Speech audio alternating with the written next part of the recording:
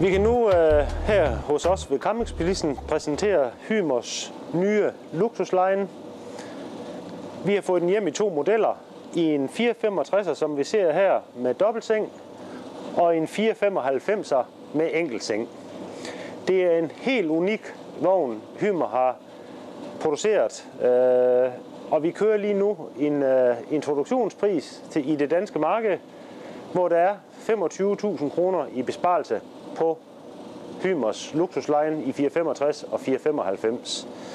Hvis vi sådan starter lidt udenfra, så er det en vogn med glatte plader, vogn med lyse alufælge, med fast fodtrin, og selvfølgelig med stabilisator og en rigtig dejlig øh, gaskasse her foran på vognen. Skal vi prøve at gå ind i vognen og se, hvordan den giver sig ud herfra.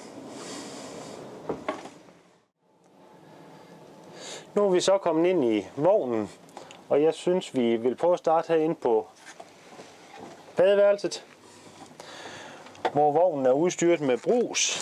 Et dejligt øh, trædeflade her med toiletholder, med et skab til sine ting, man gerne vil have lukket ind, og godt med hyldeplads. Tænk på detaljerne også til ens håndklæder. Så har vi her udenfor et dejligt rum med håndvask, godt med spejlplads og selvfølgelig til at kan hænge sine håndklæder. Og igen et dejligt stort skab herinde og hylder ned her. Så har vi sengeafdelingen med en dejlig stor dobbeltseng.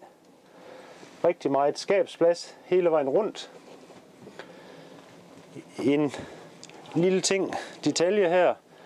Når man så kører med vognen, har man mulighed for at lige flytte den og spænde den fast herover. Eller hvis man står og arbejder i køkkenregionen her, har man en god afsætterplads. En anden god detalje, todelt her ved komfort, som også er en rigtig god ting. Dejligt med skuffer i vognen. Bemærk det unikke lukkesystem, som Hymer har lavet. Gælder både i skuffer, men gælder også op i skabspladsen. Vognen er endnu mere udstyret med M-hætte. Dejlig stor tagluge med det nye åbningssystem her. God belysning. Og selvfølgelig fluenet og mørklægningsgardinen vi så vi gå hen i den dejlige rundsædegruppe. Her har vi så en dejlig stor sædegruppe. En rigtig god detalje med bord med plads til fødderne her. Og bordet kan skyde både sideværs og her på langs. Dejlig belysning her rundt. Højtaler indbygget i forenden. Og igen som hen i sengeafdelingen. Dejlig med skabsplads hele vejen rundt i vognen. Og selvfølgelig udstyret med spot, så man kan se og læse en bog.